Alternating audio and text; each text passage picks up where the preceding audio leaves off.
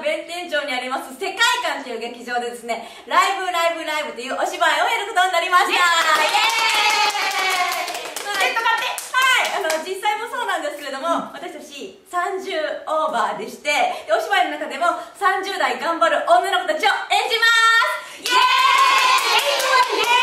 イ可愛くない可愛くない言いたくない言いたくないよまあそんな感じではい、まあ、あの今回ですね私たち、えー、崖っぷちギリギリみそじ限定期間 期間限定アイドル。はい。期間限定アイドルとして、えー曲をはい。はい、一曲歌っておりますんでぜひそちらを聴いていただきたいと思います。はい。それではティアラスターでプロミ